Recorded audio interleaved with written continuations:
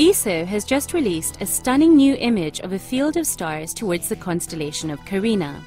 This striking view is ablaze with a flurry of stars of all colours and brightness, some of which glow against a backdrop of gas and dust clouds. A complex nebula created by previous violent ejections surrounds an unusual star in the middle of this field. Astronomers have discovered that this star has a companion. Interactions in this double star system surrounded by a dusty disk, may be the engine fueling the star's remarkable nebula. Hello and welcome to this episode of the ESOcast. My name is Gaitee Hussain. I'm standing in this time for Dr. J, who is on vacation. Today we will explore a new beautiful ESO image that shows a rich field of stars centered on a star called HD 87643. A study using a new set of observations has provided astronomers with the best ever views of this exotic type of star. The image, taken in the direction of the constellation of Carina, shows a dense starscape towards the Carina arm of the Milky Way galaxy. As we come closer, we see the star HD 87643, a so-called BE star at a distance of 4,900 light-years. The image beautifully shows the extended nebula of gas and dust that reflects the light from the star. The central star's wind appears to have shaped the nebula, leaving bright, ragged tendrils of gas and dust. A careful investigation of these features seems to indicate that there are regular ejections of matter from the star every 15 to 50 The comprehensive years. new study uses three different instruments in ESO's arsenal of telescopes. First, for the big overview, astronomers turn to the Wide Field Imager on the MPG ESO 2.2 meter telescope at the 2,400 meter high La Silla Observatory in Chile. Secondly, the team used ESO's Very Large Telescope, or the VLT, at Paranal. Here, the NACO adaptive optics instrument allowed astronomers to obtain an image of the star free from the blurring effects of the atmosphere. To probe the object even further, the team then obtained an image with the Very Large Telescope Interferometer, or the VLTI. The sheer range of the set of observations from the panoramic wide field imager shot to the fine details of the VLTI observations corresponds to a zoom in factor of 60,000 between the two extremes. With this data, the astronomers found out that HD 87643 has a companion star located at about 50 times the Earth Sun distance and is embedded in a compact dust shell. The two stars probably orbit each other in a period between 20 the presence of this companion years. could provide an explanation for the regular ejection of matter from HD 87643 that forms its amazing nebula. As the companion star moves in a highly elliptical or oval shaped orbit, it regularly comes very close to HD 87643 and triggers an ejection of stellar material. This celestial tango may be what generates the gorgeous nebula. Once again, science has helped us explore and explain the beauty of the universe. This is Gaitee Hussain signing off for the ESOcast. Join us again next time. In the framework of the International Year of Astronomy 2009, ESO has launched a new project aimed at connecting the sky as seen by the unaided eye with that seen by hobby and professional astronomers. The project, called Giga Galaxy Zoom, reveals three amazing ultra high resolution images of the night sky that online stargazers can zoom in on and explore in an incredible level of detail. The reward is the most breathtaking dive ever made into our galaxy, linking the sky seen by all with the cosmos studied by astronomers.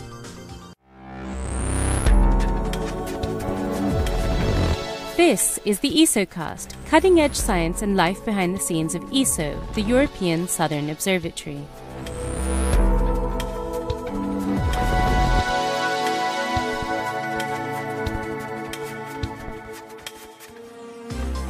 Today's ESOcast, we will explore the unique and amazing Giga Galaxy Zoom project, which reveals the whole night sky as it appears with the unaided eye from one of the darkest deserts on Earth.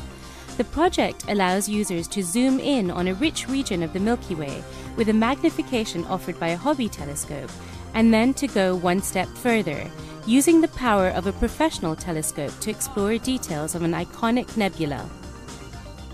Most of the photographs comprising the three gigagalaxy zoom images were taken from La Silla and Paranal, two of ESO's observing sites in Chile. The wonderful quality of the images is a testament to the splendor of the night sky at these ESO sites, which are the most productive astronomical observatories in the world. The first image, taken by the renowned French writer and astrophotographer Serge Brunier, aims to present the sky as people have experienced it the world over, though in the far greater detail offered by top notch stargazing conditions and incorporating the view from both hemispheres. Brunier spent several weeks capturing the sky with a digital camera, mostly from ESO observatories at La Silla and Paranal in Chile. To cover the full arc of the Milky Way, Brunier also made a week long trip to La Palma, one of the Canary Islands, to photograph the northern skies. The final image, the result of 120 hours of observations, provides a magnificent 800 million pixel panorama of the whole Milky Way.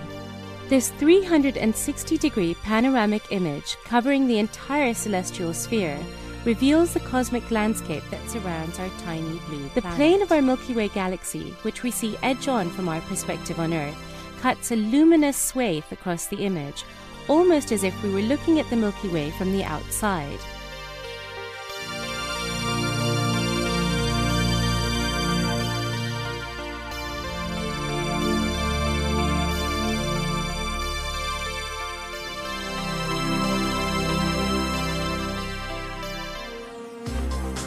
The second image was captured by another renowned astrophotographer named Stéphane Guizard. Stéphane is also the chief optician at the ESO Paranal Observatory, where he is responsible for making sure that the very large telescope has the best possible optical quality. This second image directly benefits from the dark and cloudless sky at Paranal one of the best observing sites on the planet, and from Stéphane's professional expertise as an optical engineer specializing in telescopes. To snap a photographic mosaic of the central parts of our galactic home, Stefan relied on a 10 centimeter aperture Hobby telescope coupled with a CCD camera.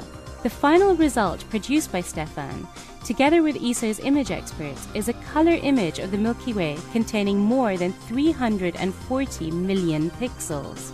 The image combines about 1,200 photos for a total exposure time of at least 200. The resulting image hours. beautifully exhibits the sky, spanning several constellations from Sagittarius to Scorpius, an area that includes the galactic center, the famous Lagoon and Trifid nebulae on the left, and the colorful Antares and Rho Ophiuchi region on the right.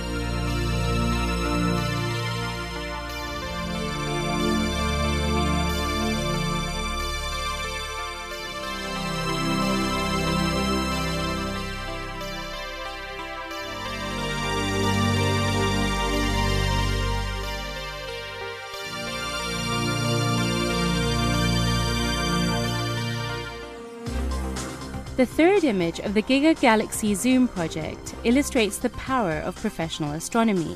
It covers a 1 degree field of view, or about two times the width of the full moon, using the wide field imager attached to the MPG ESO 2.2 meter telescope at the ESO La Silla Observatory. This camera has already created several of the most iconic pictures produced by ESO. The professional image is a zoom into the attractive and intriguing Lagoon Nebula. Scattered dark patches within this 100 light year wide nebula are huge clouds of gas and dust collapsing under their own weight. Soon they will give birth to clusters of young, glowing stars. These three stunning images allow for unique exploration of a magnificently detailed cosmic environment from the scale seen by the unaided eye into the astronomer's realm. Enjoy this dive into the starry depths of our Milky Way, from the eye to the telescope.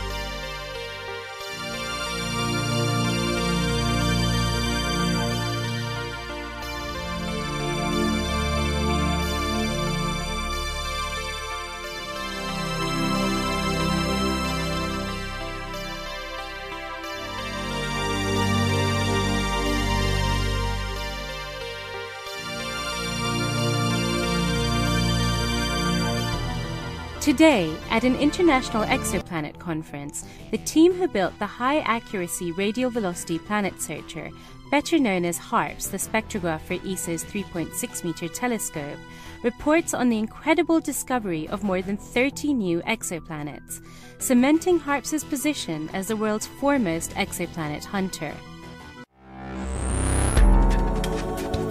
Hello and welcome to the ESOcast. In this episode, we have another major exoplanet discovery coming to you from ESO's La Silla Observatory. And we're not just talking about one exoplanet, we're talking about no less than 30. It's exoplanets galore. Including these new results, data from HARPS have led to the discovery of more than 75 exoplanets in 30 different planetary systems. In particular, thanks to its amazing precision, the search for small planets, those with a mass of a few times that of the Earth, known as super Earths and Neptune like planets, has been given a dramatic boost. HARPS has facilitated the discovery of 24 of the 28 planets known with masses below 20 Earth masses. As with the previously detected super Earths, most of the new low mass candidates reside in multi planet systems with up to five planets per system. In 1999, ESO launched a call for opportunities to build a high resolution, extremely precise spectrograph for the ESO 3.6 meter telescope at La Silla, Chile. Michel Mayor from the Geneva Observatory led a consortium to build HARPS, which was installed in 2003 and was soon able to measure the back and forward motions of stars by detecting small changes in a star's radial velocity, as small as 3.5 kilometers per hour, or a steady walking pace. Such a precision is crucial for the discovery of exoplanets.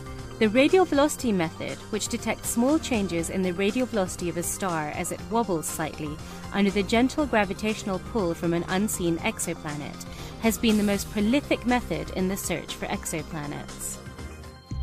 In return for building the instrument, the HARPS consortium was awarded 100 observing nights per year over a five-year period. Now this time was used to carry out one of the most ambitious systematic searches for exoplanets so far implemented worldwide, by measuring the radial velocities of hundreds of stars that might The program soon proved very successful. Using HARPS, Mayor's team discovered, among others, the first super Earth around Mu Arae, the trio of Neptunes around HD 69830, Gliese 581d, the first extrasolar planet in the habitable zone of a small star, and the lightest exoplanet ever detected around a normal star, Gliese 581e. More recently, they found a potentially lava covered world with density similar to that of the Earth's. These observations have given astronomers great insight into the diversity of planetary systems, and they've helped us to understand how they might form. The HARPS consortium was very careful in their selection of targets, with several sub-programs aimed at looking for planets around solar-like stars, low-mass dwarf stars, or stars with a lower metal content than the Sun. Although it was thought that giant planets couldn't form around low mass stars, the HARPS team has found several of them. The number of exoplanets known around low mass stars, so called M dwarfs, has also dramatically increased, including new super Earth candidates. Although the first phase of the observing program is now officially concluded, two new programs have been started. And the team still expects to make many new discoveries from the first five years of data there is no doubt that HARPS will continue to lead the field of exoplanet discovery, and especially pushing towards the detection of Earth-type planets. This is Dr. J signing off for the ESOcast. Join me again next time for another cosmic adventure.